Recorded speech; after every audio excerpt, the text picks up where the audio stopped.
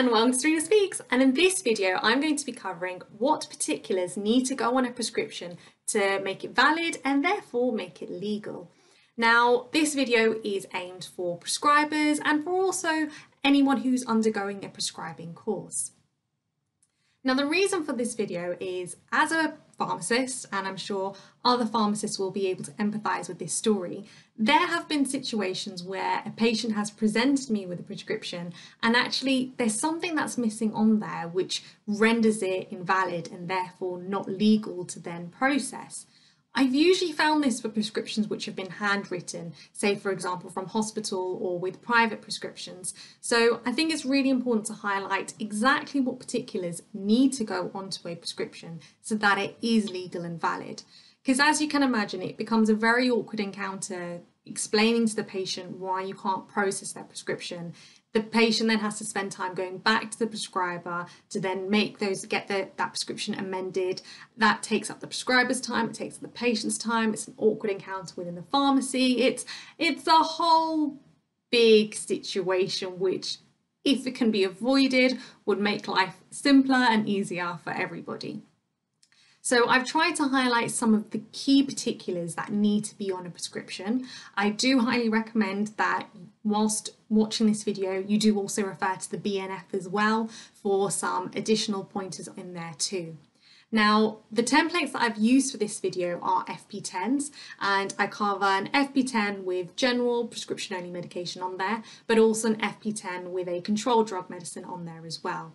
Now, bear in mind that these particulars do translate to other types of prescriptions too. It's not just for FP10s. So it can be translated to, for example, WP10s in Wales, GP10s in Scotland, um, HS21 prescriptions in Northern Ireland. Um, um, so just to repeat it, it, just because I've written these on FP10 templates doesn't necessarily mean that these rules are just for FP10s. It can be translated into other types of prescriptions. Just bear in mind if you are looking and using other types of prescriptions, there may be additional requirements. Again, please do refer to the BNF if you are looking at that.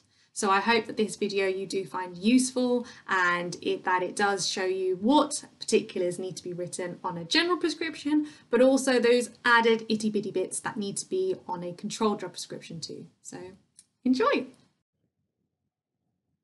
Here we have a prescription for Mr. Pat Tato. If you've seen any of my other videos, you'll be familiar with Mr. Pat Tato. And we have a prescription for levothyroxine and amlodipine. So let's go through some of the particulars that are on this prescription, starting off with name, address, age slash date of birth. Now it's worth noting that for the age of children under 12 years old and for adults over 60 years old, that age must be presented in the age box. For a child under 5 years old, their age must be presented in months and years, for example, three years and six months old. Now let's take a look at levothyroxine 50 microgram tablets.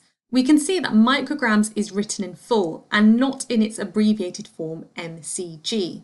This is because mcg could easily get mistaken for mg, which is milligrams. So it's important to have the word micrograms written out in full. The directions on here are written as 1OD. This is a Latin abbreviation which can be used, however it is preferable to have directions in English without abbreviations. If we look at amlodipine 5mg tablets, that's written fine. If it did have, for example, 5.0 milligrams, mm, that wouldn't be preferable. We want to try and avoid any unnecessary use of decimal points. For example, for quantities that are less than one gram, we wouldn't write it as 0.5 grams. It would be more pre preferred to write it as 500 milligrams instead. So try to avoid any unnecessary use of decimal points. We also need the signature of the prescriber as well as the date written on the prescription. Now, as you can see from the date written on here, this is the date that this video was recorded. We also need the particulars of the prescriber and the address of the prescriber. Here we have an FP10 prescription with a control drug on it. and it's for Mrs. Joe King. As you can imagine, I had a lot of fun coming up with the names for these prescriptions. Now let's look at the particulars that are on here, starting off with the name, address, age slash date of birth. Now, the requirements for this are the same for requirements of an FP10 that we looked at earlier. So if it's for an individual that's under the age of 12 or over the age of 60, then the age must be stipulated. If it's for a child under five years old, then the years and months of the age of the child needs to be written. For example, three years and six months old. Now let's take a note of the number of days supply, in this case 30. Now in general for control drugs, for schedule 2, 3 and 4 control drugs, it's recommended that the quantity prescribed does not exceed 30 days. Bear in mind this is not a legal requirement, However, prescribers may be asked to justify their reasoning and rationale if they were to prescribe more than 30 days worth of controlled drug medication.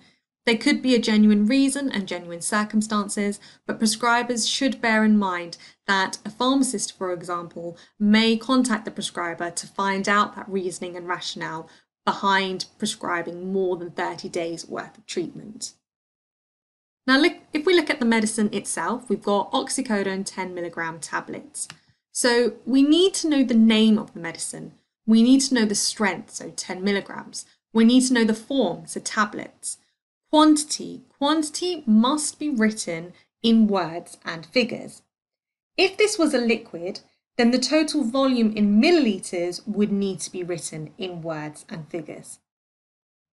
As in this case, the quantity is written in numbers of tablets, that's why we need to have 60 written as in a number format and 60 written in words as well. It's important that both of these appear on the prescription. We also need to know the dose as well. So take one tablet twice a day is absolutely fine. If, for example, take one as directed was written, that would be fine as well. However, if it was just written as directed, this would not be okay, and therefore this would render this prescription not legal.